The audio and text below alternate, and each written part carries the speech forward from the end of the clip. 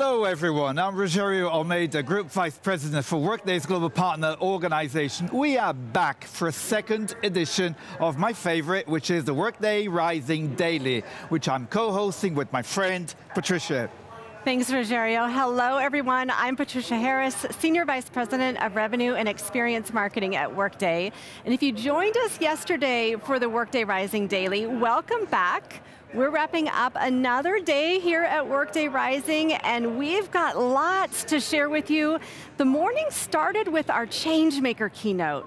Our co-CEO, Carl Eschenbach, took the stage to reflect back on the news and announcements we shared yesterday.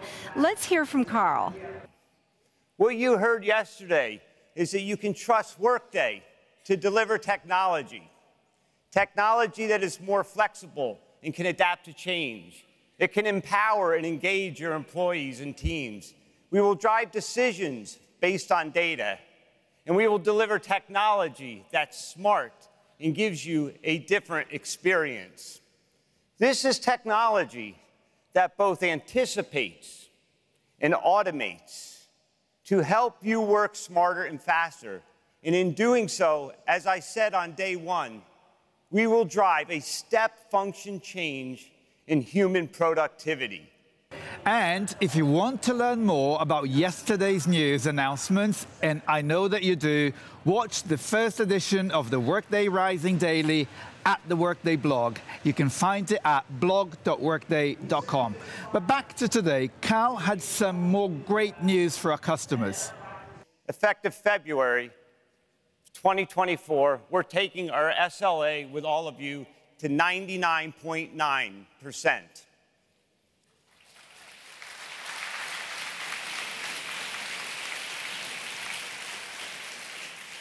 We said we aspire to be the intelligent digital backbone that enterprises can trust with their most precious assets, their people and their money.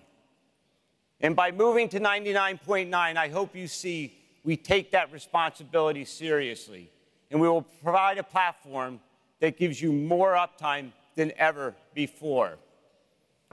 99.9% uptime for our customers. That is absolutely fantastic. Carl also had a great conversation on stage with Matt Wood, Vice President of Technology at Amazon Web Services. AWS and Workday have been partners for more than 10 years, and that partnership just keeps getting stronger. Here's a snippet from Carl and Matt's conversation. So Matt, our theme here this week is how the future works. And we've just highlighted some of the things we're doing together but that's not all. Why don't you take it a little further and talk about some of the things we're talking about here on stage today for the first time? Yeah, absolutely. I mean, uh, our partnership has been pretty deep, uh, as I've been talking about. Um, we're working very closely and announced, you know, just this week, uh, the ability to be able to take Workday Extend and use that to be able to call native AWS services. And so you can start to take advantage of um, serverless computing with things like Lambda.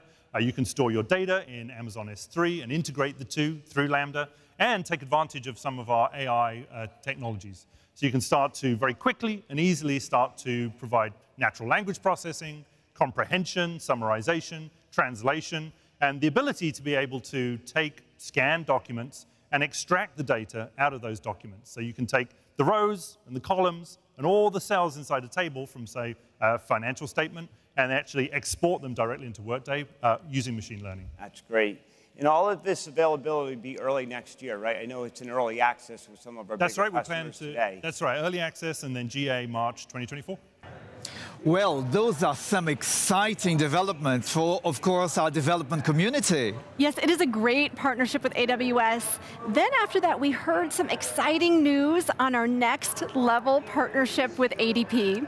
Our companies will continue to partner to create more seamless interactions between Workday and ADP systems to enable deep customer visibility into data across their HCM environment, including compliance, tax, and payroll.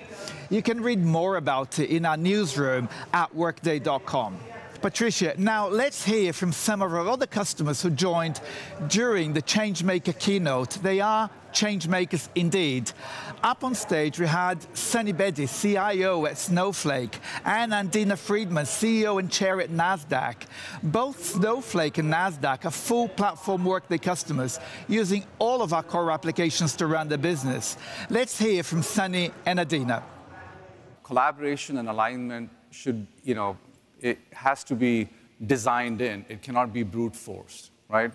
Uh, and having a platform strategy for data or for an ERP system where you don't have, you know, disparate silos, um, you know, removes that level of friction. So uh, we've been able to, um, you know, drive roadmaps collectively with finance and HR because we use the entire platform and the data and the interdependency between these applications is really instrumental uh, and critical. So it, you know, having uh, Workday as a platform strategy for us has been really instrumental in driving that collaboration, removing the silos, and really driving that level of alignment.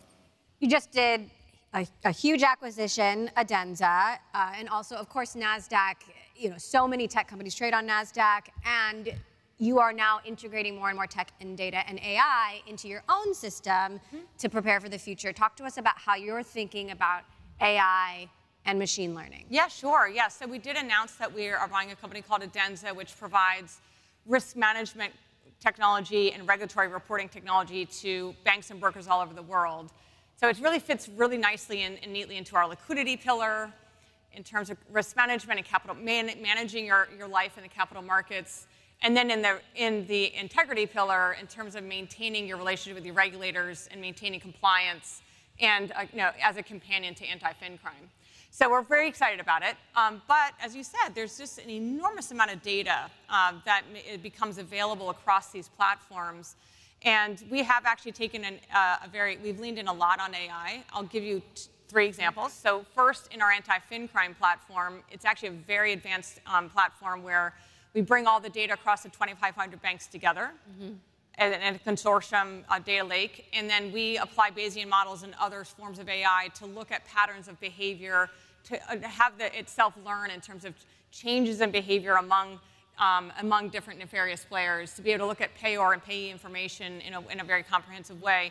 And what that does is it makes the system much more effective in terms of not generating as many false positives and we can prove to our clients that we can also root out more fraud than any internal system they have because of the access to all the data that we have. Rogerio, I just love hearing those stories about the amazing things our customers have accomplished with Workday. And Snowflake and NASDAQ have been amazing customers to work with. Yes, they have, Patricia. So last up today, one of our workmates is going to take us on a journey through Innovation Hall here at Workday Rising. Our customers have spent more than two days learning about solutions for their industries, making connections with our partner companies, and so much more. Let's take a look. The core of Workday Rising this year is the Innovation Hall, where there's so many cool displays, experiences, and products this year. Let's go check them out.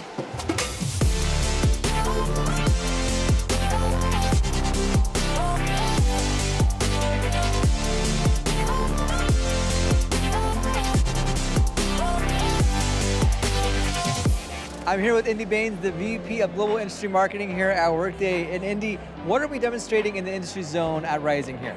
This year we really leaned into the fact that one of the reasons why our customers enjoy coming to Rising, quite frankly, is to connect with other customers. Sure. And they want to connect with other customers in their industry. You know, we as Workday, we are innovating with industry, for industry, with our customers. Right. And each industry community uh, brings a lot of expertise, brings a lot of experience, and this is a great place for everyone to tap into that experience and tap into that expertise so they can take it back to their office the following week and uh, take advantage of it with their teams.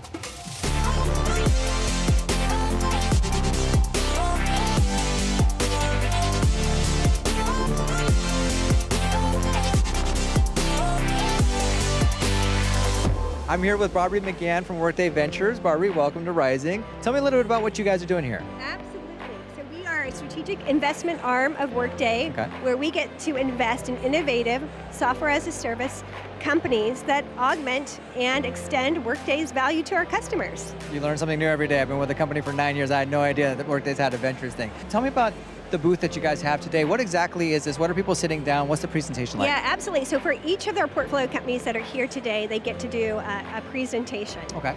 And so customers come to hear about all the innovation that our portfolio companies are having here. So I love it. what you see here is a full house. Okay. Almost every session Yeah, that our you guys are portfolio companies have done today has had a full booth here. So it's been really exciting. So Workday Rising is a huge perk Yeah. where it's zero fee. They get to come here and get to meet a lot of customers, get to also um, intermix and mingle with our product leaders across the board as well.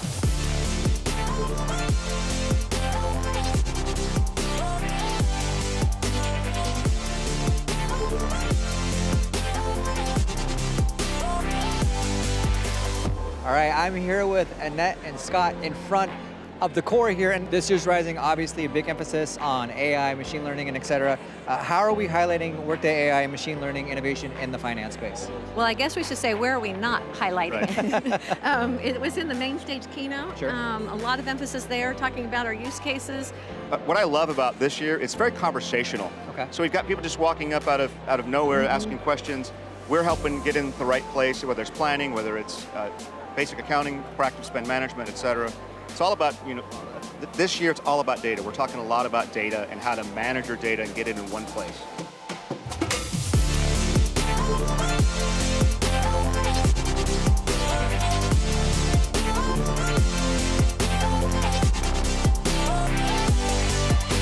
Sadly, it looks like for me, football is not quite life. But I'm going to be a goldfish and try again. For now, Patricia Rogerio, back to you in the studio.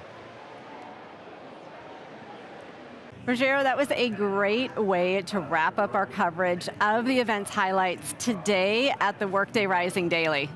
Well, it certainly was, Patricia, and it's hard to believe this wonderful week is coming to an end. It's been a week full of learning, sharing, seeing friends, old and new, and of course, making loads of new connections. And just enormously fun too. It's Right. just been an Oh, absolutely totally. great week. So much fun.